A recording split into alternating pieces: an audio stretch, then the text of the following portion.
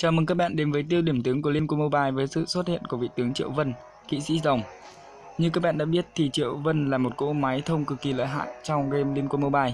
Vì vậy hôm nay tôi sẽ hướng dẫn các bạn cách chơi, cách lên đồ và bộ kỹ năng của tướng Triệu Vân rất hữu ích dành cho những bạn mới làm quen với tướng này. Triệu Vân uh, khuyến khích chơi đấu sĩ và hoặc đỡ đoàn. Với bộ kỹ năng nội tại đại tướng mỗi điểm diệt hoặc hỗ trợ diệt tăng cho Triệu Vân 12 điểm đánh thường cộng dồn 20 lần. Với chiêu thứ nhất, Long huyết. Triệu Vân cường hóa tăng tốc độ đánh và tốc độ chạy. Đoàn tấn công thường tiếp theo cũng được cường hóa gây sát thương vật lý lên kẻ thù gần đó. Sử dụng chiêu này xóa bỏ những hiệu ứng khống chế lên bản thân. Long huyết cuốn thời gian hồi chiêu 12 giây và năng lượng sử dụng 60.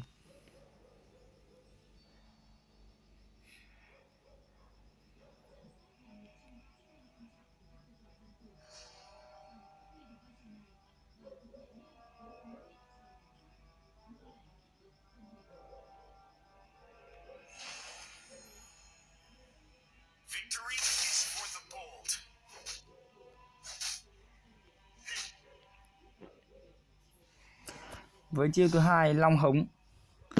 Triệu Vân đánh xuống mặt đất, gây sát thương lên kẻ địch và làm chậm chúng trong 3 giây.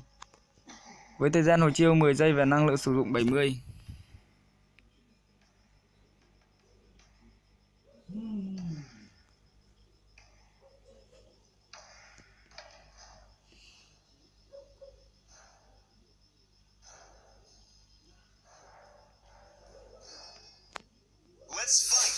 Better future.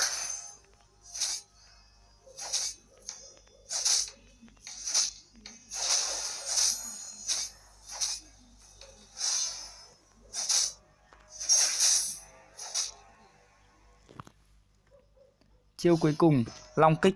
Triệu Vân tấn công kẻ thù, gây sát thương chuẩn và làm chậm tốc độ chạy của chúng. Sau đó các đòn đánh thường được cường hóa trong 5 giây. Mỗi cú đánh gây ra sát thương chuẩn bằng 3% máu tối đa của đối phương.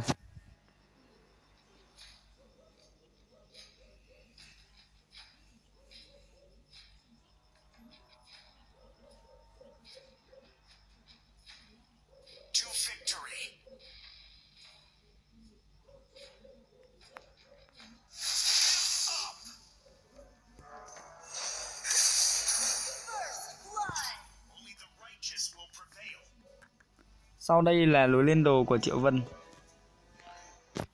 Đầu tiên, chúng ta lên áo choàng ra.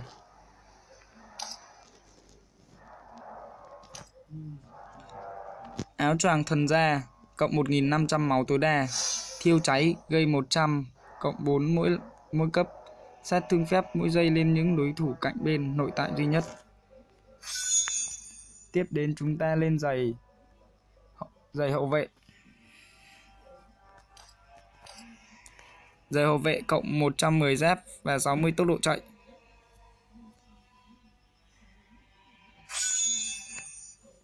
Sau đó chúng ta lên khiên huyền thoại.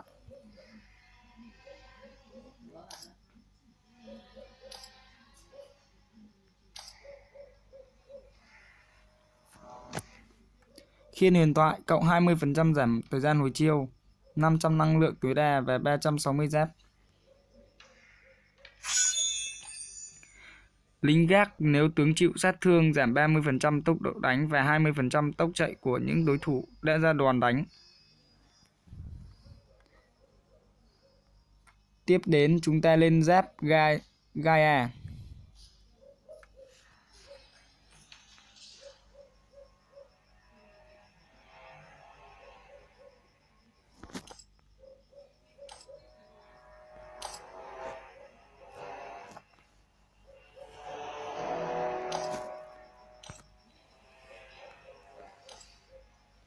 Giáp Gaia cộng 180 giáp phép cộng 1100 máu tối đa và 8% tốc chạy.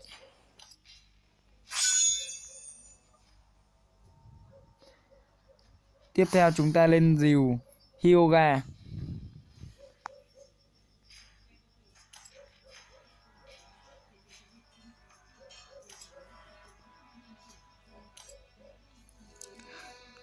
Rìu Hyoga cộng 100 giáp 100 giáp phép 1200 máu tối đa. Cuối cùng, chúng ta hãy lên trang bị giáp hộ mệnh. Giáp hộ mệnh tăng máu và cho bạn thêm một mạng. Khi bạn đã đầy đủ sát thương rồi thì trang bị cuối cùng nên là trang bị phòng thủ.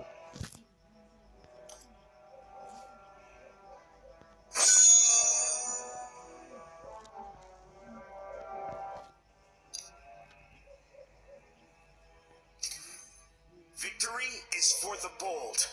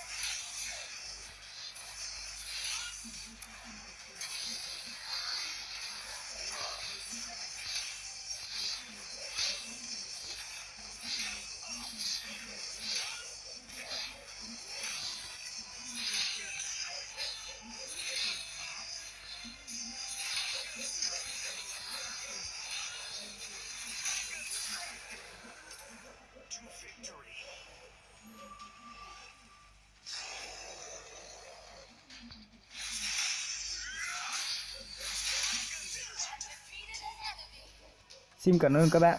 Hãy ủng hộ chúng tôi bằng cách subscribe. Tạm biệt.